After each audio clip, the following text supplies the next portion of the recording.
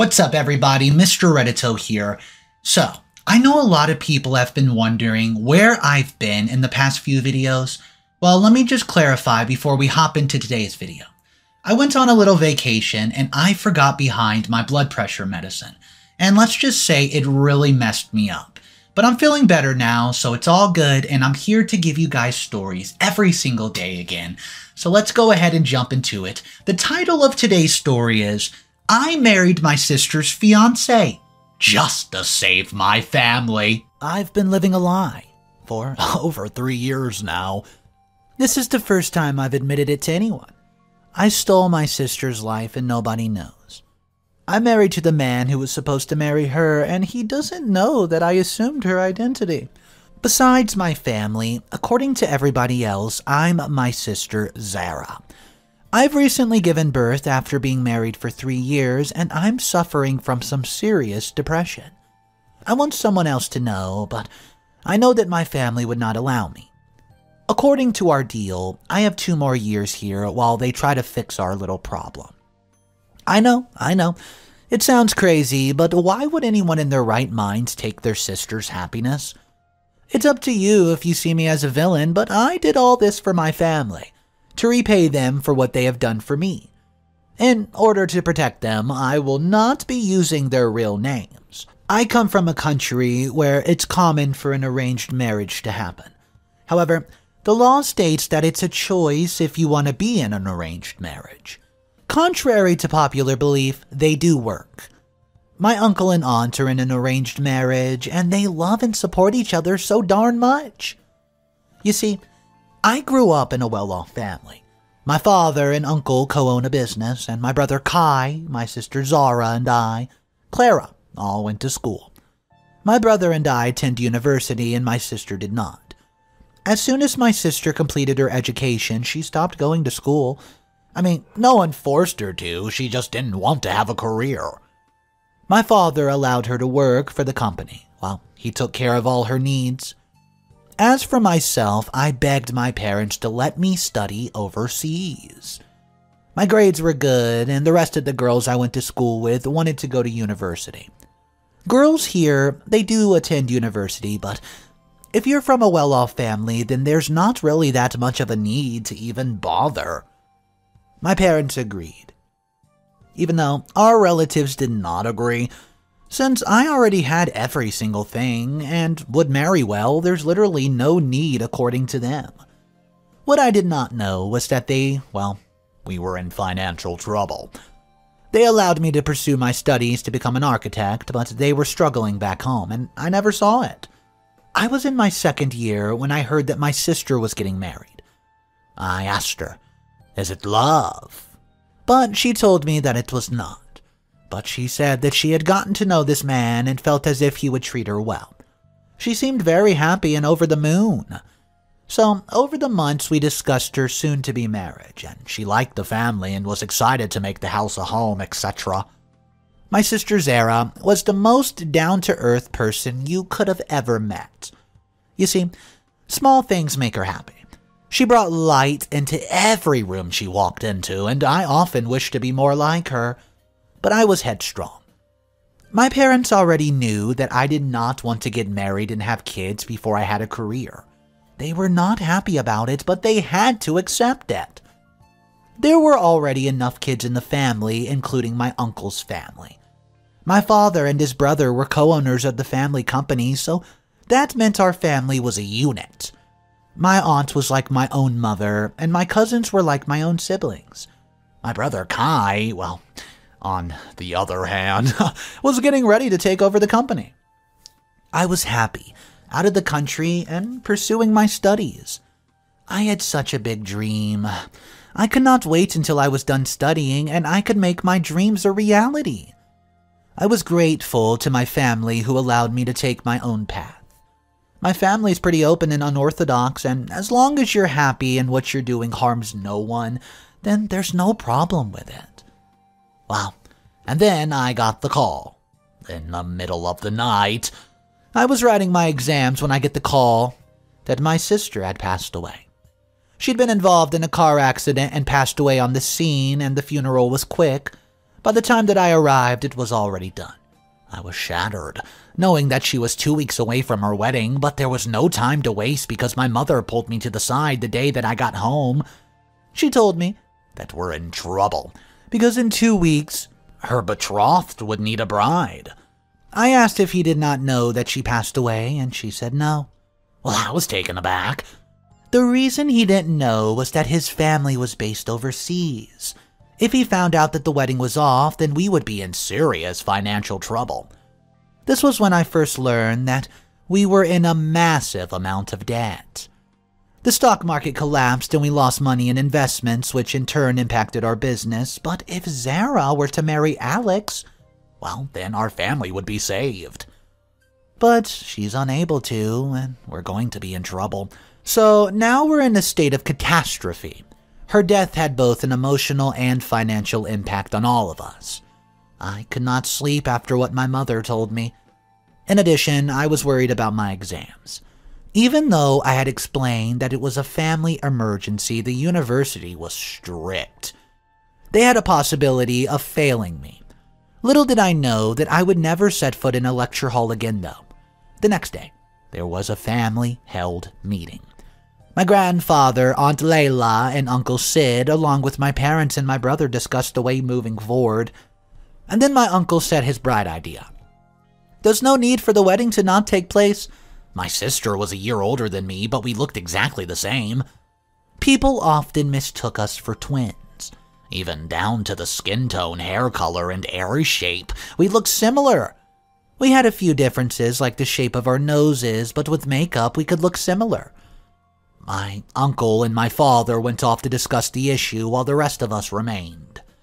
My father told my mother what the plan was, and then she sat me down and told me the request that she had to make.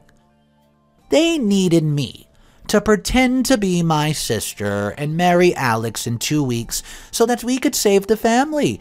I was mortified. I barely knew Alex. At least my sister knew him and seemed to have a liking for him, I was numb as I listened to them and tried to convince me what I should do. Well, I was overwhelmed and decided to visit Grandma. I stayed there for two days as I thought about thinking of it. Well, in the end, my thought process led me to the conclusion that there's no choice but for me to go along with it. Sure, I'd be giving up my education, but if we did not have money, then I would still not get the education anyways. I thought of my little cousins who were still in school. I did not want them to suddenly have to adjust to a life where they had less, if not nothing. It was clear to me. For years, the family had sacrificed and allowed me to return to university year after year, even though it meant drawing the family's money away. I even learned a lot, and I had a lot of freedom, but now it's time to repay them. But if there's one thing my sister taught me when she was still alive, it was selflessness. I have never been selfless, I have always been difficult, the rebel. She'd been willing to marry him for our sake, so that's why I decided I'm gonna do it. I'm going to discard my identity, and I'm going to become Zara. It wasn't hard, I knew all there was to know about her. The bonus part was that the family I was getting married to was not well integrated within this community. They simply would never find out. I learned her mannerisms, wore her clothing, and talked to Alex. I don't know why my sister put him on a pedestal, but that man was nothing special, I'll be the first to tell ya. He did not even have an interest in Zara's daily life. All he did was talk about himself, his company, and blah blah blah his family. It was easy. All I had to do was listen to him talk for hours on a video call, and Two weeks later, we got married. I guess you could call my wedding luxurious, but it does not really matter if I wasn't happy, right? But I knew I only had to stick this out for five years. It was a deal I made with my parents behind closed doors. I did not have to have a child, but if they tried to make me have a child, it's up to me to handle it. And so for the past three years, I've been living a lie. I thought that after five years I could walk out of this unscathed, but boy, oh boy, I was wrong. A few weeks ago, I gave birth to my husband's child. I'm not doing well. I feel guilty because this is not my life. I feel trapped in this never ending nightmare, but at least now somebody knows there's nothing anyone can do but just listen. What's up, everybody? Mr. Reddito here. Today's story is such a whirlwind. We do have a few updates. The first update came out exactly three months later. Let's go ahead and jump into it. Guys, if you're not subscribed to the channel, just take a second, click that subscribe button. It helps me out so much and I appreciate it. Here's your first update. Hey, it's me again. A lot of you have been asking for an update and you have a lot of questions, so let me describe my marriage to you. I go by the name Zara. I live overseas with my husband. I cannot mention the name of the country, but it's surrounded by a lot of water and there's wildlife. That's the plus of living here, I guess. I'm surrounded by nature, so I don't always feel trapped. But at night, when he comes back home from his latest mistress, I feel like I'm in a cage that I can't escape. You asked me to describe my husband, so hey, I'll describe him to you. He's not a bad man. It's just that I don't love him, and I feel that I cannot connect with him, but he gives me freedom. I can wear what I want, I can go out with friends, I can visit family, etc. As long as his family is present, I'm the epitome of a blushing bride. My husband has a mistress. Well, mistresses. He told me about them on the first day. He told me that I could have someone but never let anyone find out, or he would have to divorce me in a very embarrassing manner. I've never cheated, though. I've never had the opportunity or desire, and my mother raised me to be loyal if I was ever married, and I never planned to get married or even date. I've just been interested. Even my university friends found me peculiar, but life had other things in store for me. He is at least kind enough not to bring any of these women near me. In exchange, I have more luxury than I can imagine. And his family keeps my family's company afloat, but then, of course, I fell pregnant several months ago. Don't worry, it was consensual. I knew that I was pregnant and I could not bring myself to terminate. The other reason was that I knew I would be more respected if I bore him an heir. When I leave, I don't plan to take the child with me. To be honest, I just don't see an end to this marriage. It was all so complicated now. My family was now too entangled in their family, and I was also very depressed. I did not care what happened to me. I ate as much as I could. I barely left the house, and I developed a love for video games. Gaming was my first love, I will not lie to you. There I felt like I could control myself in my life, but soon enough, I gave birth, and then he sent me off to stay with his parents. He found our son annoying and hated the fact that I always awake just to take care of him. He first kicked me out of our room and I slept in the spare bedroom. I tried to get a nanny to help, but he was impatient. He told me that I was to stay with his mom until the child was one year of age. And so, for the past few months, I've been living with his mother, and it's been hell. She regularly insults me and treats me like a house slave after being here for a month. I asked him to go ahead, take me back home, but he refused. So I was forced to stay with his mother and his sister who mistreated me. I was now the cook, the cleaner, and the personal assistant. In addition to that, I had to take care of the baby. They take him during the day and parade him around the town for everybody to see. But at night, he's wide awake and I have to care for him. I found it hard to form a bond with my son, I feel like my son's trapping me in this family, and the thing they say to me make me feel like I'm nothing. They think I was Zara, so they insulted me because I'm, quote, not educated. But I just kept quiet because I'm obedient. For if I blow the cover, I stand to lose so much more. They insult my whole family and call them leeches. I'm left to stay at home while they go about their lives. I've lost all the weight I've gained over the past few months because of my mother in law and sister in law. My sister in law, Sophie, always has kids who are now my responsibility, apparently. Because of the abuse, I just never had time for myself. At night, I have to take care of my baby, and I still wake up early in the morning to order from my mother in law and sister in law. I cannot take this anymore. I cannot tell my family because they will tell me that if I leave, I will ruin everything for them. But I cannot do this anymore. I hate my husband and his entire family. I just want to take my baby and go somewhere far away. I'm sure my family would be able to figure something out. In all honesty, for the past few years, I've been saving all the money that my husband's given me. When he goes away for extended trips, he always gives me money so I can cover for him with his family. He pays me to keep quiet about his infidelity, and the amount of money that I've saved up would be enough for me to lead a comfortable life for at least a couple of years. But I'm just thinking, should I leave? Update number two. He found out that I wanted to leave, and now he's taken my child. At this point, I wish that I could just go back in time and have never agreed to this marriage. I think that my family would have survived and I would have been in a better position than I am right now. I've been insulted, mistreated, and cheated on by that man, all because I tried to leave. I decided to follow through with my plans to take my child and go. I have a friend who agreed to take me and my child in. I got all the paperwork, transport, and plane tickets, and I was ready to leave. But then when I was at the airport, I was told that I could not leave the country. Next thing I knew, airport security was taking me to be questioned.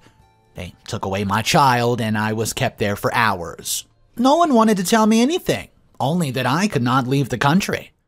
Hours later, they released me.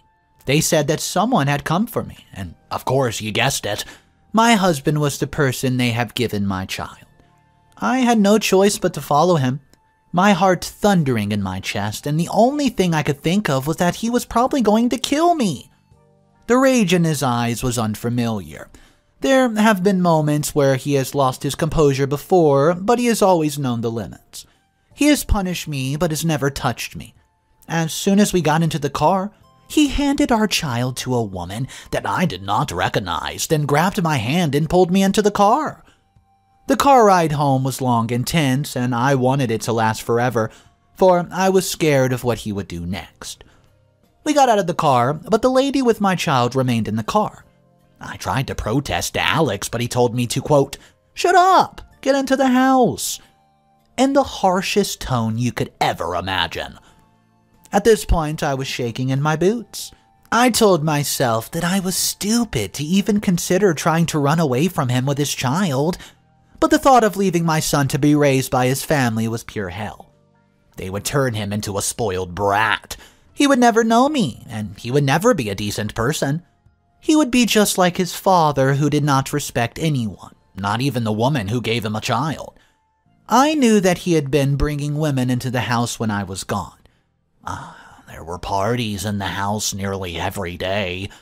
The person who let me know all this was my trusted confidant, Jenna, our housekeeper. I looked around for her once we entered the house, but did not see her.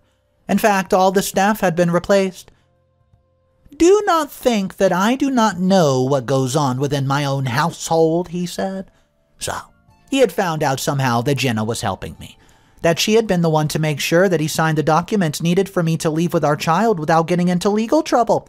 I'd been very sloppy in executing my plan to escape and had paid very dearly. He sent me to my room, told me to not even think of leaving, and then disappeared into a study. Hours later, a helper came into my room and started packing every single thing that I've left in her room. well, a few minutes later, she gave me a plane ticket for later that night. I was absolutely outraged. Well, he could not even tell me face to face that he was kicking me out, and he expected me to leave my child with some stranger. I was outraged as I barged into his office and he was seated calmly on a phone call, as if he had not just imploded my whole world. I snatched the phone from his hand and demanded that he speaks to me. He told me to stop acting crazy and leave his house. Well, we argued for a long time, but in the end, I was defeated. He told me that if I wanted to leave, I could leave, but I was not going anywhere with this child. I wanted to stay and fight for my son. I wanted to shake him until he revealed to me exactly where my son was, but I was so tired. So tired of fighting him when I knew that I could not win. I was too weak. He literally ambushed me and he had higher ground. I knew how he operated. I had sat in when he brought clients into our house. I knew how his mind worked, how his tricks worked, and I knew the best way to win this. So, I took my things and I left my son with his father. Right now, I'm safely out of the country. I have no idea if my son's okay, but it's fine. This separation will not be for long. I've hired one of the best lawyers in the country who will help me fight for my child. I have all the evidence needed to prove that he is not the fit father, for I had Plan B in case I was unable to skip the country. Every time he and his family has hurt and undermined me, I documented it. I have an entire folder filled with dirt on them, and I'm going to use it to get my son back. A few months ago, I would have told you that I have no bond with my son, but now I feel the bond with my son. I would burn Alex's whole world down just for my kid. Now I understand. Mothers who would risk their own lives for their children. I cannot let my son stay with that man. He's not a good man. I don't care how much money he has. He's not above the law. Update six months later. Hey everyone. I'm sure you're all wondering what happened after my decision to go after him, right? Don't worry, I'm okay. I mean, there were a few scars, but I heard that scars heal with time. The past few months have felt not like six months, but more like six years. People have turned on me, spat on me, and conspired against me. People have believed lies about me. I've reached a point where I've wanted to give up and just let him have the child. I've reached the point where I was tempted to go back to school and pretend as if the past three years have been a nightmare. But what saved me was a dream. Don't worry, it'll make sense once I'm done telling you my story. After hiring the lawyer, we got a judge to issue a court order for my separation from this man. My intentions were clear to get sole custody of our son, and for that to happen, a few truths had to be revealed. As you might have guessed, when I was leaving the country, my real name was revealed. When I came in, my parents made sure that my real name was not revealed to my in laws. But when I made the plans to leave, my real name was revealed. He knew when I left that I was not Zara, but he didn't say a word about it, not a single even utter. I knew that he wanted to use that in the future to destroy me when I filed for divorce, and hey, I was ready. The court case took place in his country of residency, and this meant I had to go back there and face his family. His family was upset. They harassed me on social media and in person. They tried to intimidate me, but for the first time ever, I stood my ground. As for my own family, they were not happy at all with my decision. They told me that I was alone and refused to support me. Everyone blocked me. And just like that, I was alone. The only person on my side was my friend Gillian. You see, I met Gillian at university when she was doing the same course as me. She was the one who introduced me to the divorce lawyer, and, well, to cut a long story short, court was brutal, especially when Alex revealed my betrayal. He said that he would press charges against me for lying to him. Luckily, he did not. Not after I revealed to the world what sort of jerk his family was. I had pages upon pages of how his family had treated me, and I also had information about his mistress and his infidelity throughout our whole marriage. Things did not look very good for him. You could say, the tables have turned. So, he decides to play another card, huh? He came to my hotel unannounced one evening, and I came home to find him sitting in the living room. I was about to call security, but he told me that he was not there to harm me, but to help me. He told me that if I gave up the custody battle, he would give me money every year. Allow me to spend a month with my child and not sever ties with my family's company. He told me to think about it, and I could even go back to school and I would be independent with no one to control my life. Three years ago, I would have taken the deal money, freedom, education. That sounds a lot of a luxury to me. But this was not three years ago, it's now. I told him to leave, but he told me I had 48 hours to accept the offer, and I spent the whole night thinking about it. I even told my lawyer about it. Every person that I told told me that it was probably the best offer I could get. That if I lost the court battle, I would be worse off. And then, well, a dream saved me. I had a few hours to get back to him and alert him of my decision. I'd not slept in days and my mind was all over the place. I nodded off and had a dream, and in the dream I saw my sister. She told me to be selfish once in my life. It was very vague and probably just a figment of my imagination, but that's when I knew what I had to do. I declined the offer and I went right back, marching to that court, where I got custody of my baby and the divorce. He had to pay me a substantial amount of child support, and it was up to me when and if he ever even saw the kid. He was deemed an inappropriate guardian for the child after more evidence of his party boy lifestyle surfaced. It's like taking candy from a baby. when I found out that I won, I was in shock. I heard the words, but it was like I was underwater when I heard them. He told me that I was no one, that I could never win against him, and his family had called me a woman with no morality, whose family would not even support her. But here I was, ah, with just the truth, and the best lawyer by my side. I won the biggest battle of my life. I burst into tears when I saw my baby for the first time in months, and it was like a hole in my heart filled up, and suddenly, all was right. I left the country as soon as all the paperwork was sorted, and now I live happily with my baby. I guess everything worked out. This is the final update. Two months later. So, here I was thinking that life was going to go smoothly after the court case, but there was still one last thing that lingered my family. I used a couple of weeks to get myself a place to stay spend time with my baby, and experience freedom, and then I decided that I needed to go and see my family. I should have left them alone. After all, they blocked me when I needed them. But I needed to close the chapter of my life before I started a new one. So, I went back to visit my family, and they were not happy to see me, but they allowed me to speak. As I expected, they blamed me for everything, even though they had literally thrown me to the lions. In addition, they thought I owed them money that I got from the divorce settlement. I saw a side of my family I've never seen before. They loved someone as long as they could benefit from them, but as soon as they were useless, they turned on them. They had done that to my sister. They had treated her like she was disposable and gotten her engaged to the despicable man. And then after she passed away, they forced her memory to live on through me just so they could save themselves. I had to leave all that made me happy because my father and my uncle made poor decisions. I did not stay long. I told them that they would never see me or my child again, and then I left. I also found out that Alex is getting married once again to some poor, unsuspecting girl. I'm not surprised, and frankly, I don't care.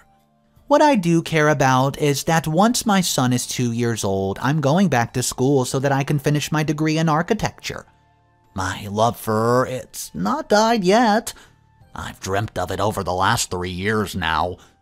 I don't plan to get married ever again. I am done.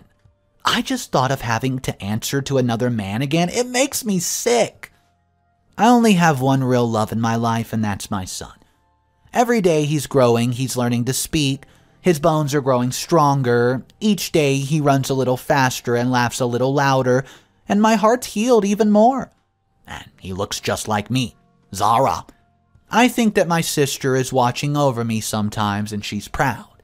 Finally, I can let her be free and be myself. Clara. It feels so strange to not be her. I'm still learning how to be myself again, but I know I can do it as long as my son's with me. What a wild story. I'll be honest with you guys. Every single commenter in the comment section of this one was saying, I'm so glad Alex lost. Alex did not deserve to have custody of the kids. Guys, I want to know exactly what you thought about this story, how you would go about it differently if you were in OP's unique shoes, because, well, I don't want to put words in your mouth, but I don't think many of us have been in this situation. Correct me if I'm wrong in the comment section, though, guys. Once again, I hope you enjoyed it. If you're new to the channel, go ahead and subscribe for daily videos. Thank you so much for joining me. I'll see you in the next one. Peace.